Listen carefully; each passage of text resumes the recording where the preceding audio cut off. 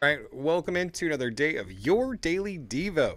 Pastor Rick here, and we are jumping into Hosea chapter 8. And so we're over the halfway mark. We're, we're on the downhill. We're on the downhill slope here.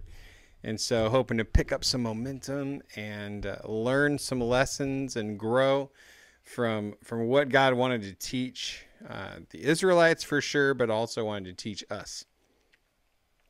So that's why he had it recorded in the Bible because it says that all these things were written for our example.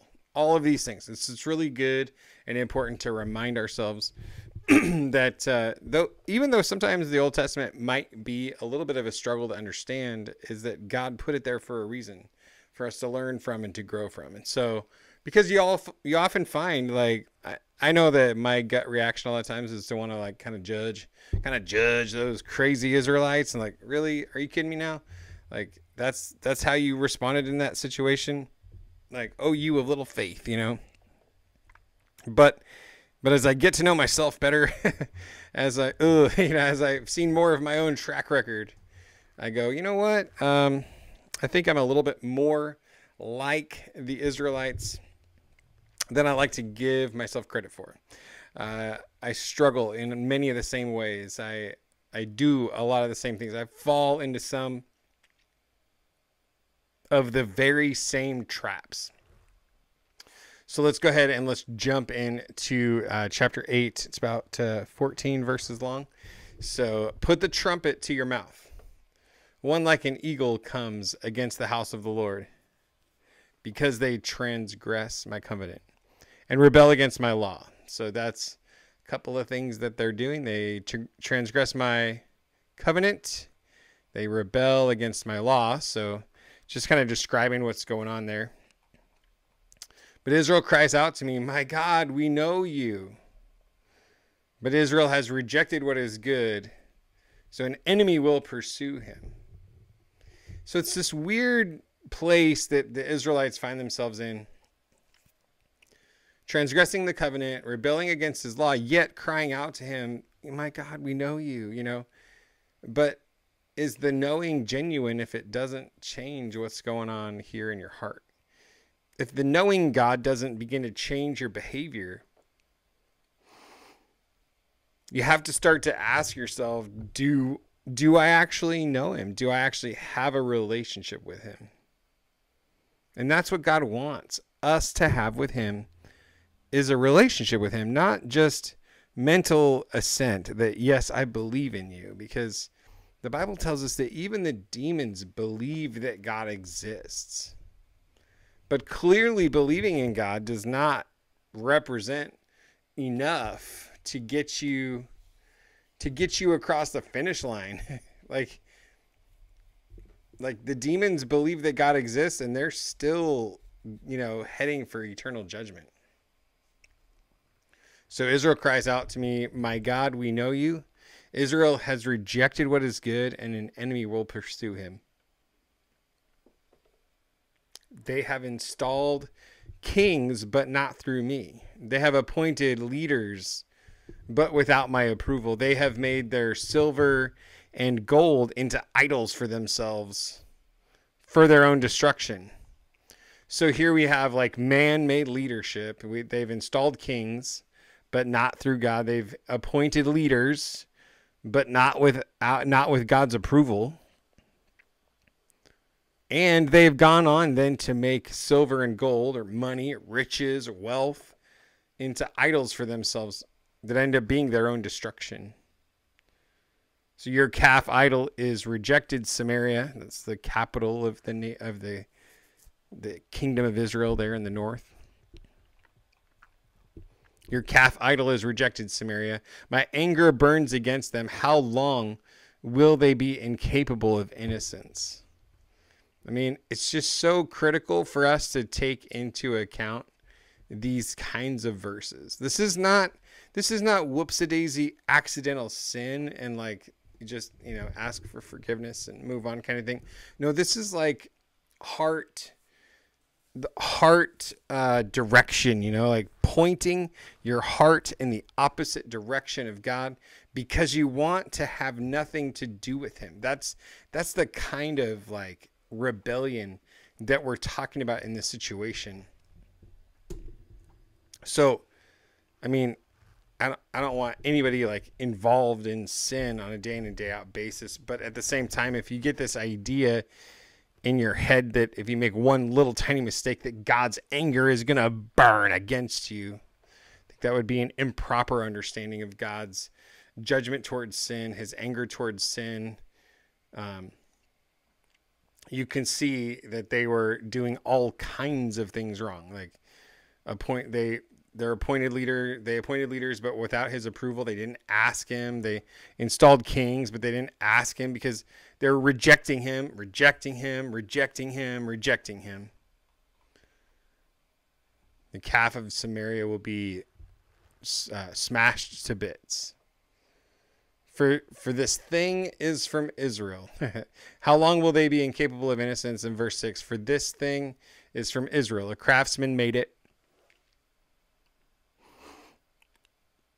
and it is not God. The calf of Samaria will be smashed to bits.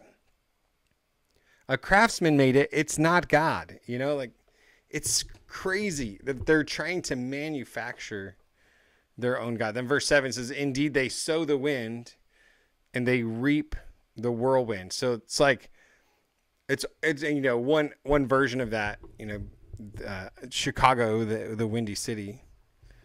Um, they're like, well, a lot of times it's not even that windy there, so why in the world do they call it the Windy City? Well, one one report of where that name comes from it's because they have lots and lots of politicians in Chicago, and they uh, talk a lot, and so that was one of the angles of why it was called the Windy Cities because so many politicians and all their hot air, all their all the blowhards. I don't know. so um, indeed, they sow the wind and they reap the whirlwind, which is uh, kind of a picture of divine judgment. The whirlwind is. There's no standing grain. What sprouts fails to yield flour. Even if they did, foreigners would swallow it up. Israel is swallowed up. Now they are among the nations. They have, they've rejected God. They've kind of like left the Lord's camp, so to speak, and now they're just among the nations like discarded po- uh, pottery. They have gone up to Assyria. Again, crazy talk. Why are we going to Assyria? Like a wild donkey going off on its own. Like, how well do you think that ever works out for any donkey that just decides to go wander out on his own? And that's the kind of picture that God gives us when we are trying to leave avoid run away from what God wants us to do. It's like a wild donkey going off on its own. And then it says Ephraim has paid for love, even though they hire lovers among the nations. I will not round them up. They will begin to decrease in number and under the burden of the king and leaders. And so here Ephraim is trying to pay for love. And what you find when you pay for love is you have no love and now you have no money. And it's kind of the deal with sin in general. Like, this is the way sin works in our hearts, but we can trick ourselves so easily into not grabbing a hold of that, not believing it. But that when you sin, it's like, it's like paying for love because you pay your money. And now you don't have any money, but you also don't have any love because paying money is not how you get it. So we want love and joy and peace and patience and kindness and goodness and gentleness and uh, faith, can, uh, faithful love and self control. I, I, lost, I lost count there. Love, joy, peace, patience, kindness, goodness, gentleness, faithfulness, and self control. And I probably missed one, but it doesn't matter. It's all good. You know what I'm talking about. The fruit of the Spirit, Galatians chapter 5, verses 22, 23, 24, right in there. Like that's what we want. And so when we pursue those things, through worldly means, then we we sow the wind and we reap the whirlwind. Because we're sowing things that don't have the seed of the kingdom of God in them. Even though they hire lovers among the nations, I will uh, now I will now round them up. and they will begin to decrease in number under the burden of the king and leaders. So he's allowing them to like receive some of the consequences of their decisions. And we, when Ephraim multiplied his altars for sin, they became his altars for sinning. Though I were to write out for him 10,000 points of my instruction, they would be regarded as something strange. Though they offer sacrificial sacrificial though they offer sacrificial gifts and eat the flesh, the Lord does not accept them, and now he will remember their guilt and punish their sins. They will return to Egypt. Israel has forgotten his maker and built palaces. Don't do it, guys. Don't do it. Don't forget your maker. Don't leave him out there like no. Get get there. Get into the presence of God. Hang out with God know God, like genuinely know God, and allow Him to transform your heart and your mind and then your actions. Judah has also multiplied fortified cities. I will send fire on their cities, and it will consume their citadels. So, one of the big lessons to learn here is Israel is trying to run from God, trying to abandon Him, trying to get all the things that they've always needed that God promises to provide if they would just obey.